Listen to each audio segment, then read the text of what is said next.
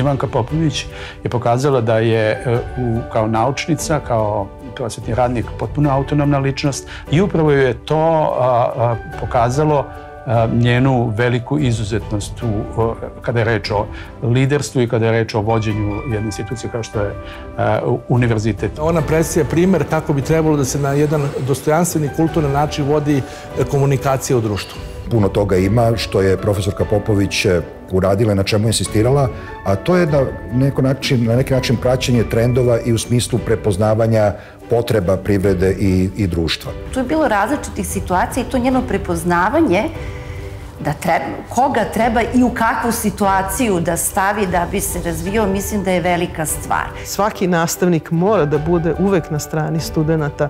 To ne znači e, samo po sebi da se vi slažete sa onim što studenti zastupaju, ali mi smo ovde da bi pomogli ti mladi ljudi stasaju i u profesionalnom smislu, ali i kao ličnosti.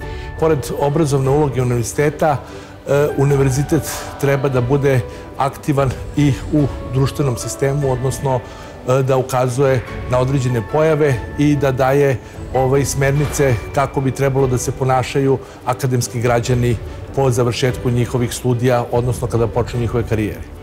Autonomiju i ugled univerziteta čuvaju svi članovi akademske zajednice neprimereno ponašanje jednog člana akademske zajednice baca senku na celu zajednicu. Mnogo vremena je utrošeno poslednjih nekoliko godina da se e, naprave odgovarajuće procedure koje bi e, takve e, neprimerene pojave svele na minimum. Tako da se ja danas trudim da sve to što sam naučila od nje, što mislim da je dobro, što je slagasla, da ja sada kao profesor primenjujem u radu sa svojim studentima i nadam se da, da uspevam u tome. Pa univerzitet ima mnogo načina na koje može da utiče na kretanje u društvu. Prvi osnovni zadatak je formiranje novih mladih generacija stručnih, obrazovanih ljudi koji su i svesni građani. I u tom smislu univerzitet kao javno dobro i treba da bude na raspolaganju javnosti e, da pomogne da naša država i naše stanovništvo e, bolje živi.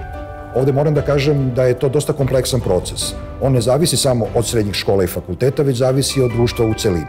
Pre svega od e, kompanija, industrije i ukoliko to bude prepoznato i podržano od strane medija i javnosti, onda će univerzitet imati svoju pravu rolu, zapravo biće samo jedan od aktera u tom procesu prilagođavanja mladih ljudi savremenom društvu i pravljenja, dakle, mladih stručnjaka koji će prepoznavati i procese koji nastaju tek.